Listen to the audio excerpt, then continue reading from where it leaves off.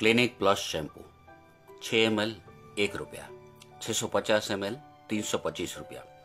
मतलब छः M L के एक रुपए के हिसाब से छः सौ पचास एम एल का एक सौ आठ रुपये ही होना चाहिए। उसके बदले क्लिनिक प्लस शैम्पू आपके पास दो सौ सोलह रुपये ज़्यादा लेकर तीन सौ पच्चीस रुपये ले रहा है।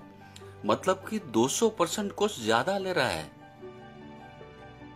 हेड एंड शोल्डर शैम्पू साढ़े आठ एम एल चार रुपया। बहत्तर एम एल अट्ठासी रुपया।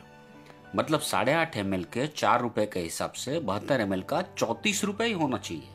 उसके बदले हेड एंड शोल्डर शैम्पू आपके पास चौवन रुपये ज़्यादा लेकर अट्ठासी रुपए ले रहा है। मतलब कि एक सौ अट्ठासी परसेंट कोर्स ज़्यादा ले रहा है।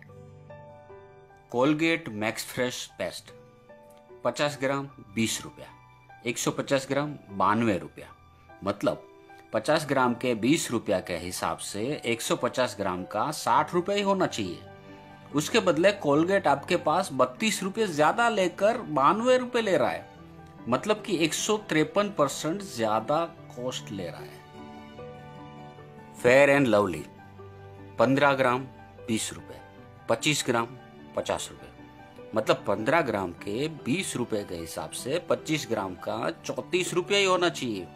उसके बदले फेयर एंड लवली आपके पास सोलह रुपये ज़्यादा लेकर पचास रुपए ले रहा है। मतलब कि 150 परसेंट कोच ज़्यादा ले रहा है। रेड लेबल टी 100 ग्राम तीस रुपए, एक किलो चार सौ दस रुपए। मतलब 100 ग्राम के तीस रुपए के हिसाब से एक किलो का तीन सौ रुपये होना चाहिए। उसके बदले रेड लेबल टी आपके पास एक सौ दस रुपया ज़्यादा लेकर चार सौ दस रुपया ले रही है। मतलब कि एक सौ परसेंट कोस्ट ज़्यादा ले रही है। Surf Excel washing powder 80 gram दस रुपए, एक किलो एक सौ सत्तर रुपए। मतलब 80 ग्राम के दस रुपए के हिसाब से एक किलो का एक सौ पच्चीस रुपए ही होना चाहिए। उसके बदले सर्फ एक्सेल आपके पास पैतालीस रुपए ज़्यादा लेकर एक सौ सत्तर रुपया ले रहा है। मतलब कि 136 परसेंट कुछ ज़्यादा ले रहा है। एरियल वॉशिंग पाउडर पचासी ग्राम, दस रुपए। डेढ़ किलो, दो सौ उनचास रुपए। मतलब पचासी ग्राम के दस रुपए के हिसाब से डेढ़ किलो का एक सौ अस्सी रुपया ही होना चाहिए। उसके बदले एरियल आपके पास उनहत्तर रुपए ज़्यादा लेकर दो सौ उनचास रुपए ले रहा है। मतलब एक सौ इकतालीस परसेंट कोस्ट ज़्यादा ले रहा है। नेस्ट कैफ़े साढ़े सात ग्राम, दस रुपए। पचास ग्राम, एक सौ तीस रुपए। मतलब साढ़े सात ग्राम के दस रुपए के हिसाब से पचास ग्राम का सड़सठ रुपया ही होना चाहिए। उसके बदले नेस्कैफे आपके पास तिरसठ रुपये ज़्यादा लेकर एक सौ तीस ले रहा है। मतलब एक सौ पचानवे परसेंट कोस्ट ज़्यादा ले रहा है। लाइफ बॉय, बासठ ग्राम दस रुपए, एक सौ पच्चीस ग्राम अट्ठाईस रुपए। मतलब बासठ ग्राम के दस रुपए के हिसाब से एक सौ पच्चीस ग्राम का बीस रुपए ही होना चाहिए।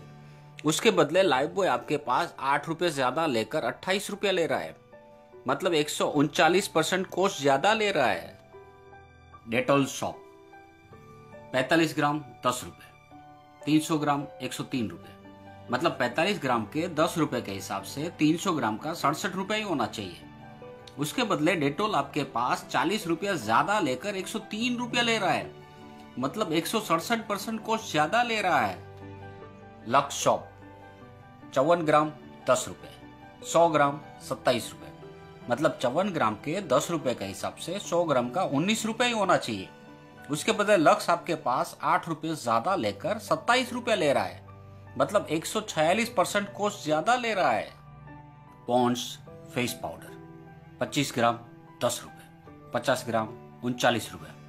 मतलब पच्चीस ग्राम के दस रुपए के हिसाब से पचास ग्राम का बीस रुपए ही होना चाहिए। उसके बदले पॉन्ड्स आपके पास उन्नीस रुपए ज़्यादा लेकर उनचालीस रुपए ले रहा है। मतलब एक सौ पंचानवे परसेंट कोस्ट ज़्यादा ले रहा है। वेसेलिन बॉडी लोशन बीस एम एल, दस रुपया। दो सौ एम एल, एक सौ पचासी रुपया। मतलब बीस एम एल के दस रुपए के हिसाब से दो सौ एम एल का सौ रुपया ही होना चाहिए। उसके बदले वैसेलिन आपके पास पचासी रुपया ज़्यादा लेकर एक सौ पचासी रुपया ले रहा है। मतलब एक सौ पचासी परसेंट कोस्ट ज़्यादा ले रहा है। वैसेलिन पेट्रोलियम जेली दस ग्राम, पाँच रुपए बयालीस ग्राम सड़सठ रुपए। मतलब दस ग्राम के पाँच रुपए के हिसाब से बयालीस ग्राम का इक्कीस रुपए ही होना चाहिए। उसके बदले वैसेलिन आपके पास छत्तीस रुपया ज़्यादा लेकर सड़सठ रुपया ले रहा है। मतलब 319 परसेंट को ज़्यादा ले रहा है। दोस्तों तो देखा आपने, ये मॉल और मल्टीनेशनल कंपनियाँ मिलकर हमें कैसे लूटती हैं? तो अब आप जब नेक्स्ट टाइम मॉल में खरीदी करने जाए तो छोटा पैकेट और बड़ा पैकेट। को कंपेयर करना ना भूले। और इन मल्टीनेशनल कंपनियों की ठगाई से बचे और अपना पैसा भी बचाए। ये वीडियो अपने दोस्तों और रिश्तेदारों को भी शेयर करना ना भूले। उनको भी मॉल और मल्टीनेशनल कंपनियों की ठगाई की जानकारी ज़रूर दें।